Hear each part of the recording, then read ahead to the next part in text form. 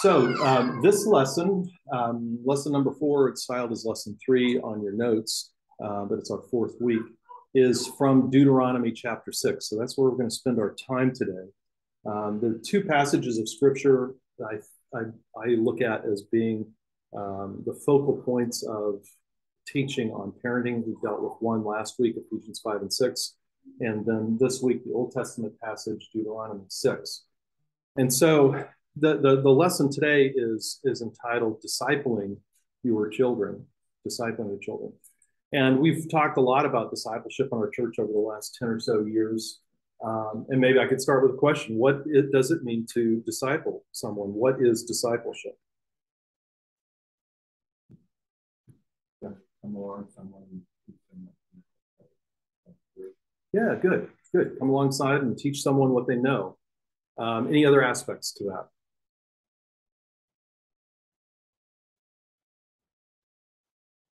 That's a pretty good definition, I think. Yeah. Help someone follow Christ. Help someone follow Christ. Good. Good. Because what is a disciple? A disciple is a follower. So when we come alongside and teach them what we know about following Christ, we're helping them follow Christ.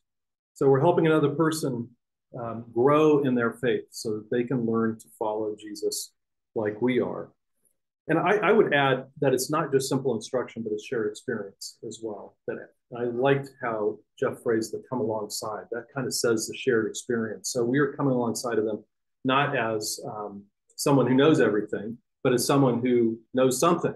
And we're giving them information, encouraging them, helping them to, to grow in their faith. Um, so, how then is that relevant to our parenting? Well, we want our children to come to faith in Christ and then to grow in Him. And who better to disciple our children than us? Who better to disciple our kids than mom and dad? This isn't the church's responsibility, although we're here to help and we will do anything we can to help you disciple your children. And it's not a school's responsibility, it's our responsibility as parents. Last week we ended with Ephesians 6 4, which said, Bring up your children in the discipline and instruction of the Lord. And you could summarize this by saying this is a command to disciple your children. Bring them up in the dis- discipline. There's a correction element to that. And instruction, there's a teaching element. And it's of the Lord. It's in the Lord we want to be bringing them up. What we'll see from Deuteronomy 6 is some real parallel thoughts to, to what we talked about last week. And this is kind of the key verse you shall teach them diligently to your children. We'll unpack this a little bit more as we go along. But first, a little bit of context for, um, for this passage. So, Deuteronomy is near the end of the wilderness wandering. It is preparation for coming into the promised land. So, if you think about who is being addressed here, it's not the first generation of Israelites who came out of Egypt in the Exodus. Those people, by and large, maybe there's a few more, but by and large, bless you. by and large, those that first generation is gone. They have died in the wilderness over the last 40 years. They are the ones that came up to Kadesh Barnea and said, Oh no, we can't do this. We are too small. And they could not see a God who was too big. And so they backed away, and God said, Okay, you can you can wander for 40 years in the wilderness until all of you die. Everybody 20 and older, with few exceptions. So, chapter one talks about remembering Kadesh Barnea. And so, Moses is speaking to the second generation primarily. The second generation, let's call them the wilderness generation, the ones who grew up in the wilderness. They grew up having to wander around, even though they were under 20 years old, or maybe they were born in the wilderness. They had to wander because of the effect of their parents' sin in chapter two and three, um, there's another call for remembrance, and it's a remembrance of earlier victories. These are victories on the east side of the Jordan River before they crossed the Jordan and came into the promised land. And, and so Moses is saying, listen, you know, God fought those battles, he'll fight future battles. He reminded them of that. There's some leadership succession um, in chapter three, how the, the torch is being passed to Joshua. So just as we're going from generation one to generation two, kind of globally in Israel, we're also doing it from a leadership perspective. And then chapter four, Moses starts teaching about obedience and he is encouraging them to obey, calls out a few specific things they need to pay attention to. Chapter five, he explains it more and he re gives the Ten Commandments in chapter five. And so, on the, on the heels of this reteaching of the Ten Commandments, now we get to chapter six, and here's what he has to say. So he's he's teaching this to the generation who grew up wandering in the wilderness, and they're about to go into the promised land, and they are going to face challenges that their parents didn't face. Their parents faced hardships that they're not going to face. And what do they need to know? So here's where we get into Deuteronomy chapter 6. Could I have somebody read for us verses 1 through 6? A little bit of a longer segment than we'll do in other places, but Jeff, yeah, thanks. Now, this is the commandment, the statutes and the rules that the Lord your God commanded me to teach you, that you may do them in the land which you are going over. Possess it, that you may fear the Lord your God, you and your son, son's son, by keeping all his statutes and his commandments which I command you all the days of your life, that your days may be long. Hear therefore, O Israel, and be careful to do them, that it may go well with you, that you multiply greatly, as Lord, the God of your fathers, promised you, in a land flowing with milk and honey. Hear, O Israel, the Lord our God, the Lord is one. You shall love the Lord your God with all your heart, with all your soul, with all your might. And these, words that I command you today shall be on your heart. All right, thank you. All right, so in, in verses one through six, Moses is laying out a need for the wilderness generation to hear these commandments. And actually, in verse one, he says the, the commandment, right? He said, Now this is the commandment, the statute and the rules that the Lord commanded me to teach you. So there's a real focus Moses is saying, listen, I have a responsibility to teach you. And your responsibility is going to be to teach the next generation. So he's going to be passing the baton too.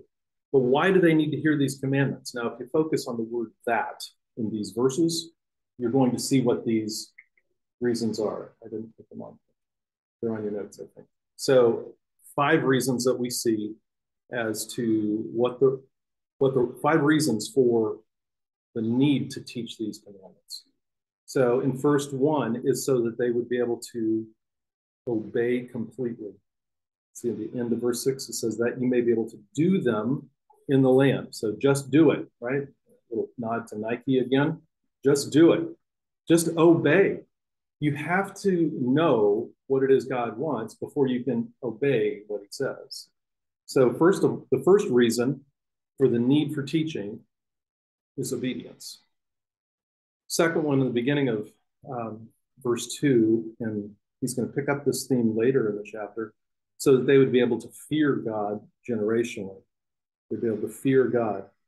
He says, You may fear the Lord your God, you and your son and your son's sons. So three generations. So you, wilderness generation, your son, they call them the conquering generation, or you know, actually, so the wilderness generation becomes the conquering generation.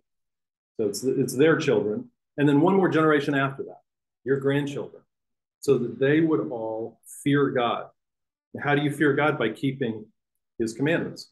Back to obedience. So we demonstrate the fear of God by, show, by obeying the things that he has commanded us to do. The third reason, so that they would be able to live long. So here's a promise that, uh, that was, that was built into the Mosaic covenant. The way that God dealt with people at that time is like, if you obey, you will be blessed. So there was a direct connection under the Mosaic covenant for long life. Verse 4 so that their life would go well for them, so that they would have a good life. Again, this is obedience equals blessing in this Old Testament construct. And then so that they would multiply greatly, so that they would fulfill that part of the Abrahamic covenant that the that Abraham Abraham's descendants would be like the sand of the sea, sand on the seashore. They would multiply greatly. And then verses four and five, what commandment did they most need to hear? What was the most vital piece of information that they needed Was it all 10 commandments? No, it wasn't. That's kind of remarkable to me. He just gave the 10 commandments. He talked about some other kind of important commands in chapter 5, but he comes to this and he boils it all down and he says, You have one God. He has to be exclusive. And you need to, more than obey him, you need to love him completely. So we see, first of all, he gives like this theological underpinning for this command. Hear, O Israel. I lost my place. Sorry. Hear, O Israel, the Lord your God, the Lord is one. So commentators tell us that this is more than just the unity of God, this is the exclusivity of God. There are no other gods. Everything else has a small g in front of it. There's nothing else that deserves our worship, our love, and our obedience.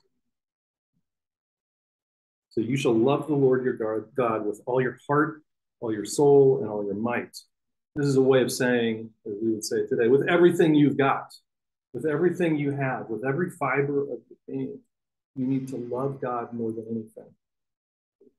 I think this is really a key to generational spiritual succession. That we have got to more than just teach our children obey. Why? Because I'm the Father.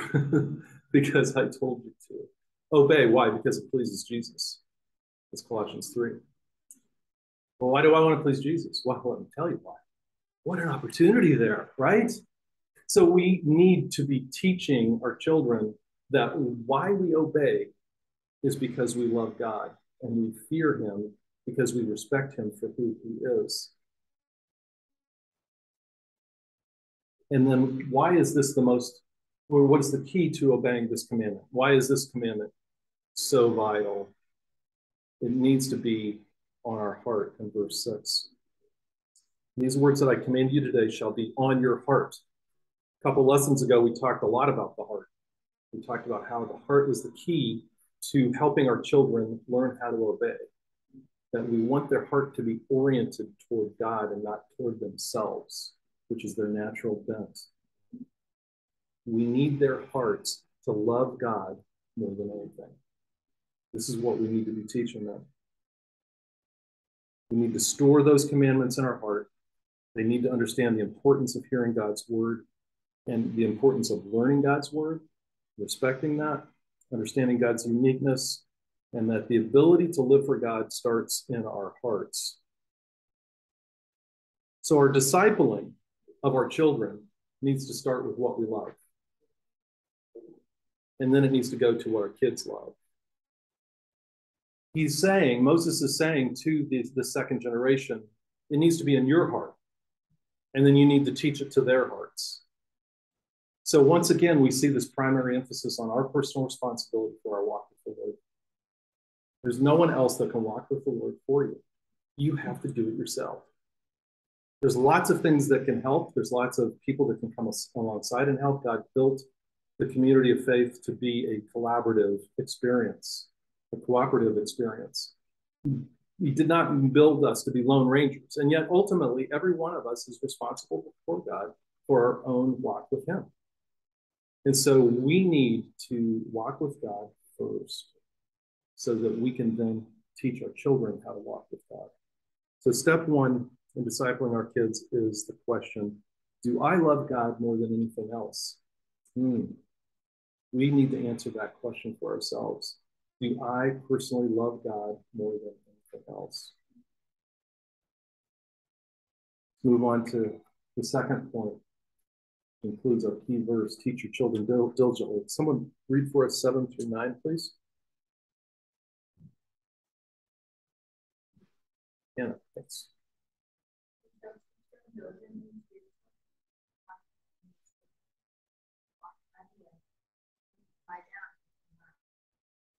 find them and sign. like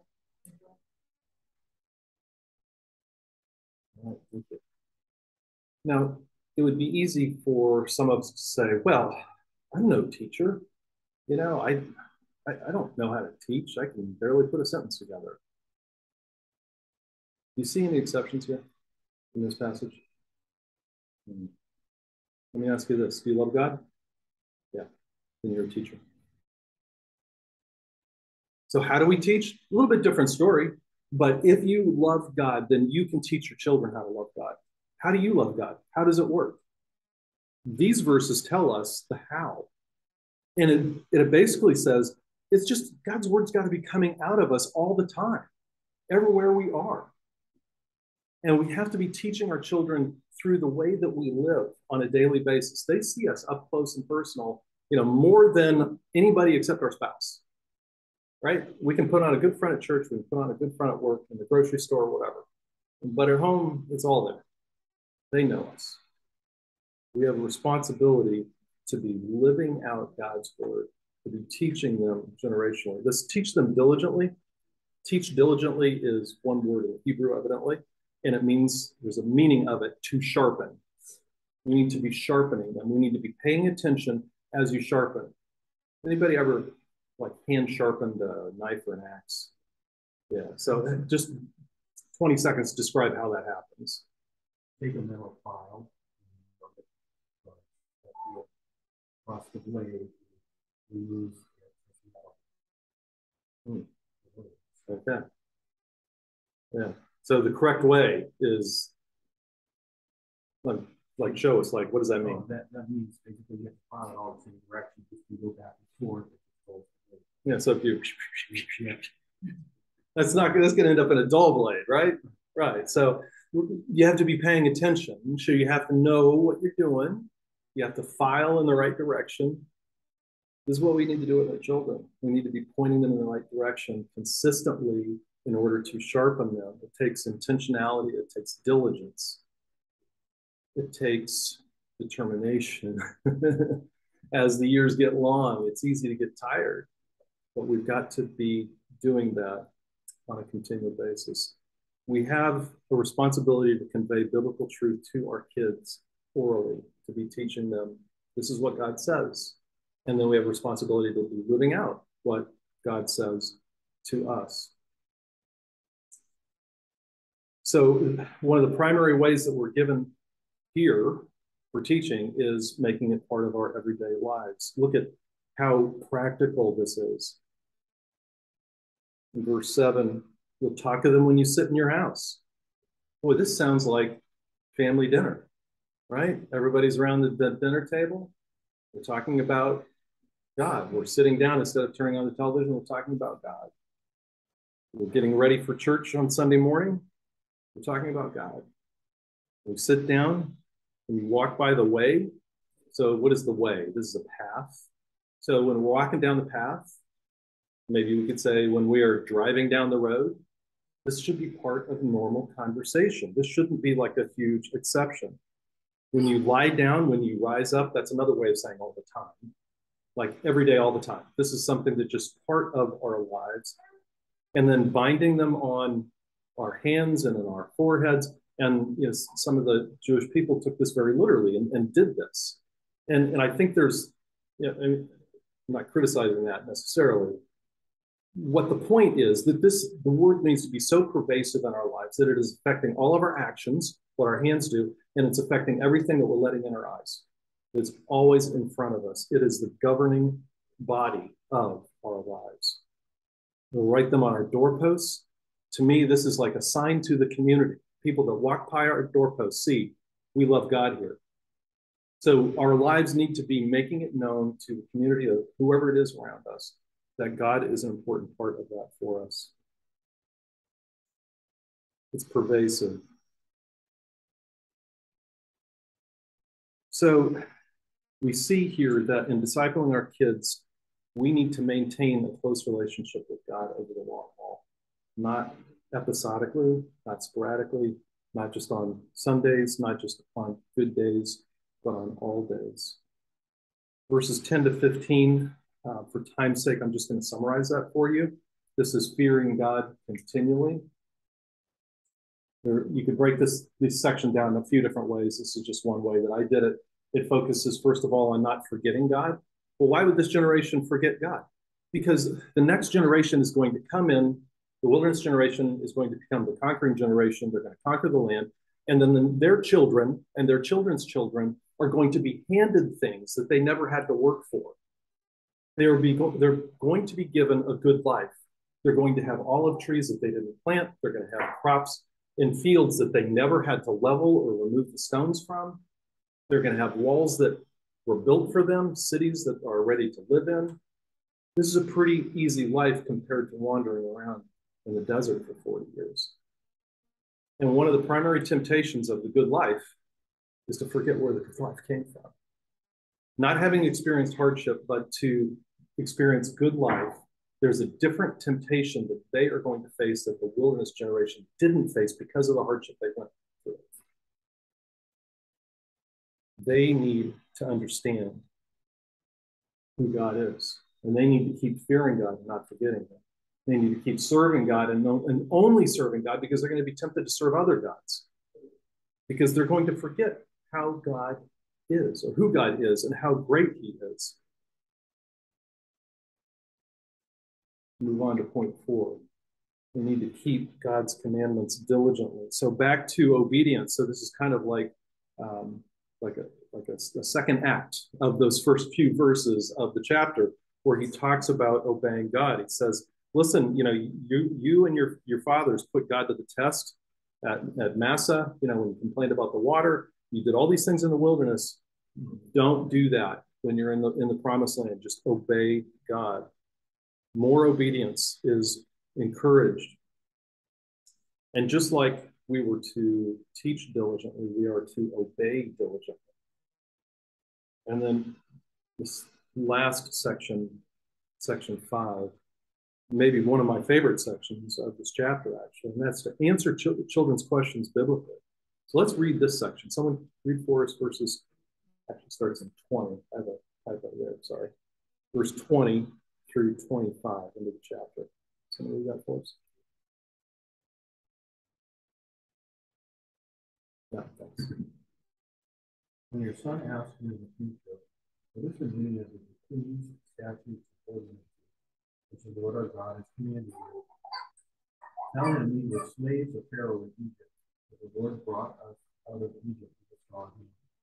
For our eyes, the Lord the great and devastating signs and wonders of and he brought us from there in order to lead us us the land to our fathers.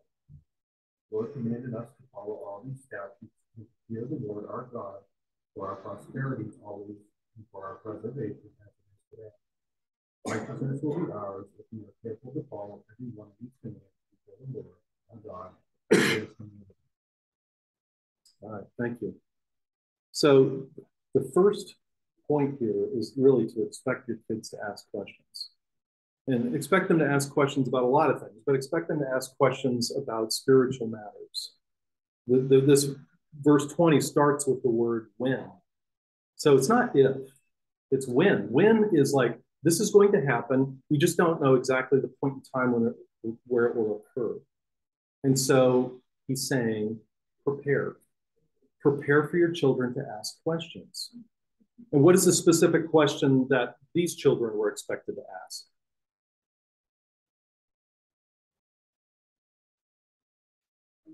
Why are the stones there? Yeah, so the stones from crossing the, the Jordan and then there, later in the book of Joshua, there was another stone that was erected, the stone of victory.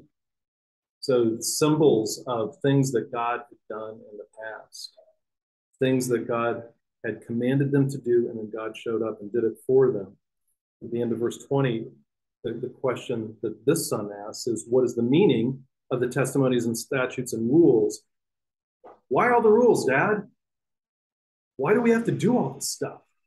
And there was a lot of them in the Old Testament. All of this very precise procedure. And the son is like, Dad, I don't get it. Why do we have to do this? Why do we have to take a land all the way to Jerusalem every year? This is crazy.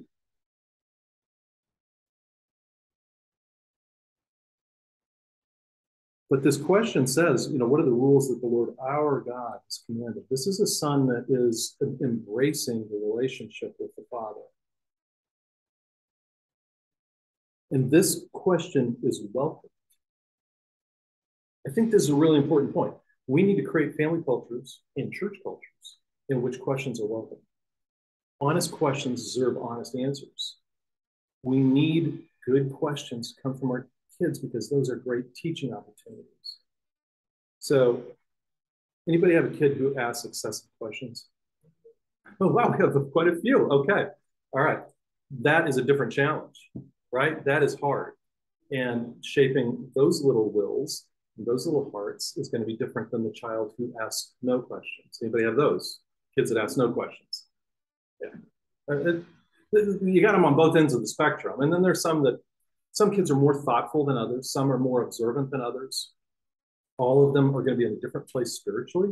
We tend to think of our kids as having the same experiences in our homes. And so, you know, kind of expect their spiritual growth to happen in a, or spiritual sensitivity to happen the same way. No, they all have little hearts that are rebels. So they're all going to go their own way. How, so just this is not a rhetorical question. How do we create a culture in our family that encourages questions, that encourages children to think and ask? Openly listening? Excellent. Yeah, good.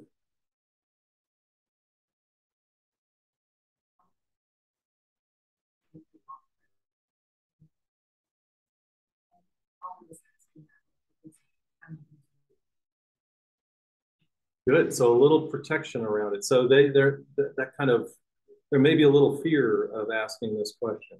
So we're taking the fear away. Like, listen, judgment free. Just ask the question. Good. Listen. I was just going to say ask thought I think we can model this. We can ask thought provoking questions, which then might get the engine running, that gets the questions flowing. And that I think is a really, really good thing to do.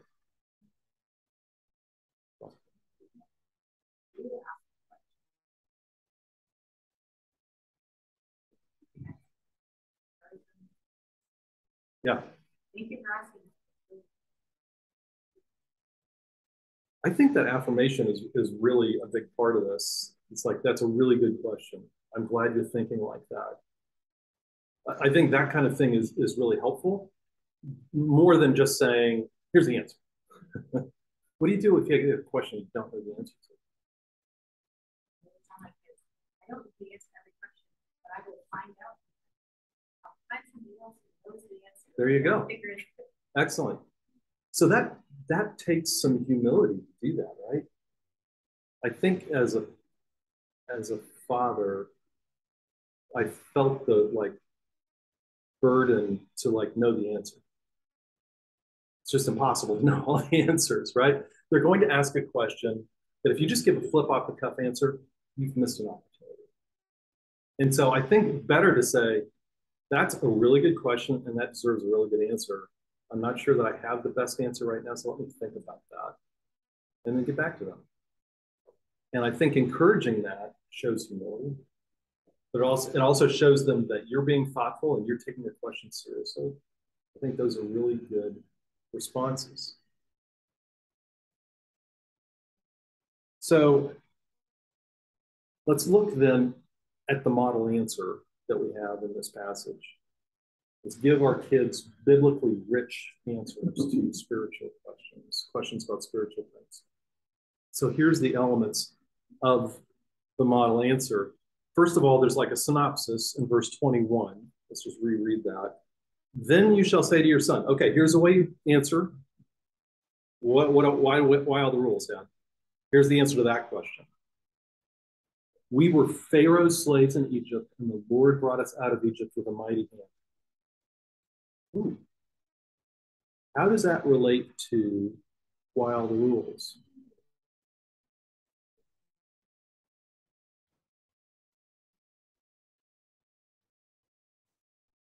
What is he saying?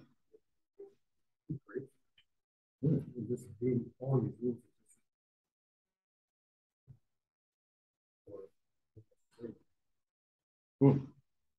So setting some perspective here that like the perspective we need to have is a, is a perspective of gratitude. We were brought out of Egypt because we were once what?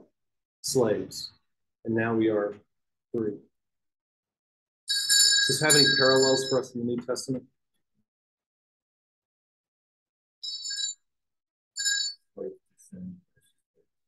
Absolutely. Yeah. Yeah. He's saying we had a desperate condition where we could not save ourselves. God did a dramatic rescue. We've got to communicate that in a way to our kids that they see how much it means to us. We were slaves and God saved us. He brought us out. We were slave to sin, just like you're a slave to sin right now. Jesus Christ died for me. I trusted in him, just like you need to do. You know, there, there is direct parallel here to how we communicate with our kids about overpowering sin, for example. Whether, you know, before they're a believer, after they're a believer. Then we really get a more for your money kind of answer in verses 22 through 25, more explanation. And what is the focus here in 22 through 25?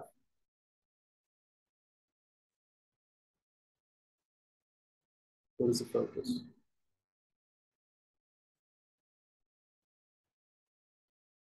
All that God has done. Yeah. So it doesn't actually talk about the rules. It talks about our great God, how big he is, how mighty he is. It says in verse 22 the Lord showed signs and wonders. He's saying, We have a great God. He is so powerful. We're, you know what he's doing? He's teaching theology. He's teaching his children who God is. Verse 23 He brought us out from there. Not only do we have a great God, but he did something great for us. And he gave us the land that he swore to give to our fathers. What is he saying there? God is a promise keeping God. He gave us the land that he promised to give us. He's reliable, he's faithful. And then the Lord commanded us to observe these statutes, these rules. So he brings it back to the question.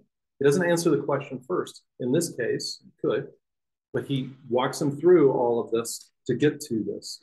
So he says, God is mighty, God is faithful, and God is fearful three important qualities of our relationship with God. These commandments teach us how to relate to Him because He is good and He's faithful and He's powerful and fearful. These commandments create righteous living. These commandments show that He is our authority, one that we need to respect. So, in summary, I would say we need to be teaching the character of God through our personal experience. As your kids grow up, they need to hear your personal testimony of salvation. They need, if your if your parents are believers, they need to hear that too from their mouths. You can do that. And I would say capture that in writing, capture it on video, capture it somewhere, so that you have a legacy of generational faith if that's part of your family. If it's not, God saved you, start with that.